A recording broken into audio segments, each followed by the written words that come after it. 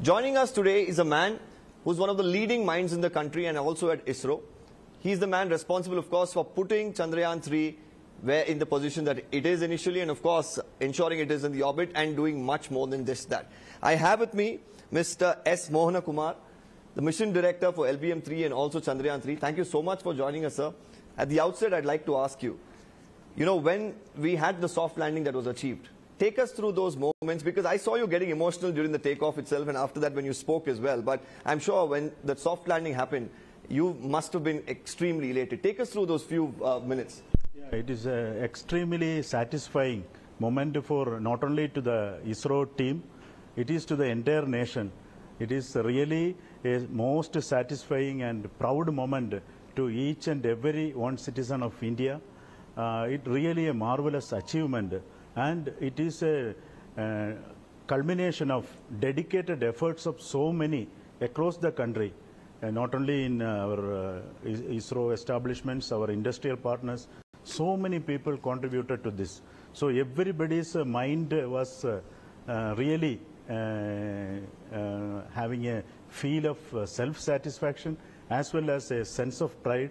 That was the moment really we all, you all seen Yeah. at that point of time when it soft landed on the lunar surface. So I must thank you on behalf of the entire country for giving us that moment to cherish for decades or years to come. I think our entire generation, I think we've not had a prouder moment in the country than something like this to see India on the moon literally. So, but I would like to ask you, you know, we've had our share, a fair share of challenges, right? Because from the Chandrayaan 1 to what we've achieved through Chandrayaan 3, there was a little bit of glitch during Chandrayaan 2, especially towards the end. When you took over at that point in time, uh, tell us about you know how that phase of transition was because there, I'm sure you know as scientists you know that the margin for error in space is almost nil. But when you have a mission like that fail and the anticipation of the entire country as well at that point in time was as high as Chandrayaan 3. So tell us how did that transition really happen to lift the morale of the entire team and ensure that you know you're setting on the right path? Ah, exactly. Uh, this uh, this kind of missions or projects like uh, uh, basically I am looking after the launch vehicle side, wherein uh, the spacecraft will be taken to the specified orbit to for its further functions Yeah. on space and further uh, movement. Yeah. Uh, however, uh, this is really a teamwork. Yeah. You may be uh, all along hearing that ISRO team or team ISRO like that.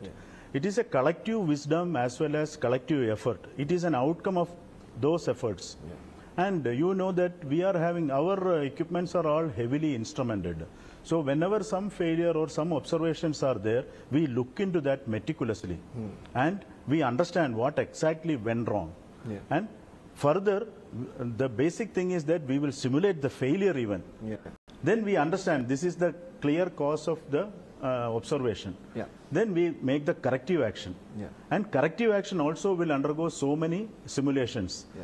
That is how we attained confidence to go ahead with You've given me an answer right, uh, uh, truly as a scientist, because I was asking about the emotions that you were going Yeah. through after the failure and to lift yourself up from there. So how was that emotionally for all the scientists and to lift, your, uh, uh, lift yourself up? Ah, exactly. This is what this uh, in in personal level also. If we think, you know, if some failure happen in our life, we should introspect and we should understand what exactly is the reason for that. That is the and the courage with which you come out is really the uh, uh, helping factor for further success. Yeah.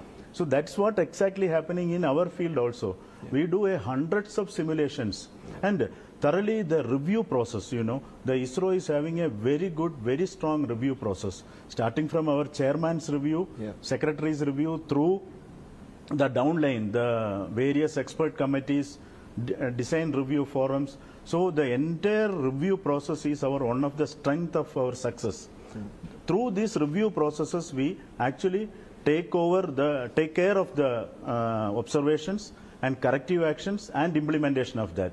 Yeah. That only ensures the flight safety as well as mission success. The chairman was pointing this out that at ISRO you have a very open system where people are allowed Exactly. uh, to you know bring about their opinion. If they think something is wrong, they're allowed to uh, bring it up in a meeting. So how uh, does this entire process help all of you all at ISRO? Exactly. In even in our uh, chairman's review also, we are all very free to exchange our opinion, views, our technical uh, doubts, even if a, if a uh, wrong and uh, wrong uh, feel or something also will be entertained because from that also something can come out. And that, again, if really some merit is there in the query, it will further undergo reviews, corrective actions. That is how we've perfected the systems.